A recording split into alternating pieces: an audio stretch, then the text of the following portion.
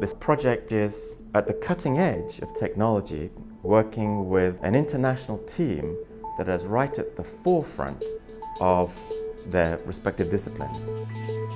The research is a Chondrichthyan tree of life, so looking at sharks, rays, skates, and chimeras, how they're related, uh, where they live, what their genetic material is. We're interested at some level in how over the evolutionary process organisms essentially sprout new features. And we can compare the genomes and say, this is the part of the genome responsible.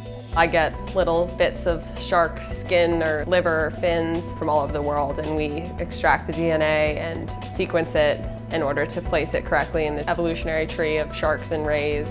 I'm looking at the skeletons of these sharks and rays, um, taking specimens borrowed from museums from all over the world to the Medical University of South Carolina, or MUSC, and CT scan these sharks. And I upload the data from the CT scans and then segment out the different structures. That creates pretty much a three-dimensional X-ray.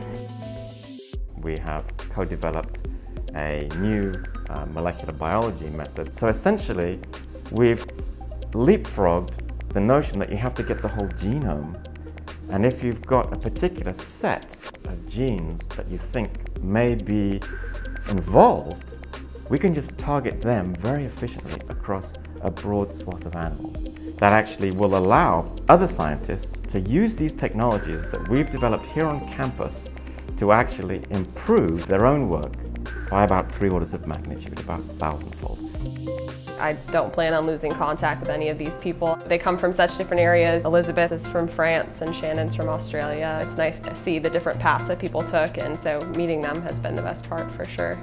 After being able to learn all the tools that I have within this lab, I feel like I have kind of a toolkit that I can take with me that it's very unique. Very few people know how to segment CT scans. I can apply to jobs at museums, which are starting to digitize their collections. Everybody thinks that scientists have solved most of the fundamental questions, and the truth is completely the opposite. There's so many things that are very, very important that we just don't know anything about yet.